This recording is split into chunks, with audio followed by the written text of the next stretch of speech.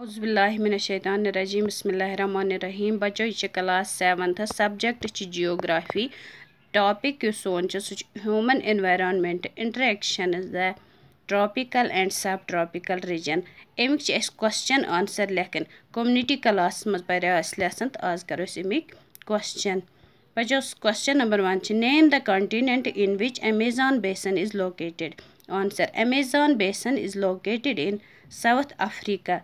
The river basin drains parts of Brazil, Peru, Colombia and small parts of Venezuela. Question number 2. What are the crops grown by the people of Amazon basin? Answer. The people of Amazon basin mainly grow pineapple and sweet potato. Cash crops like coffee, maize and coca are also grown. Question number 3. Name the birds that you are likely to find in the rainforests of Amazon. Rainforest is rich in fauna, birds such as toucans, hunting birds, etc. What, what are the major cities located on the river Ganga? Question number 4. What are the major cities located on the river Ganga?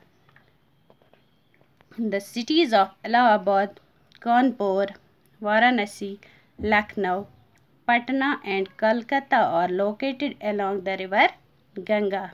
Question number 5. Where is the one horned rhinoceros found? In the Brahmaputra plains.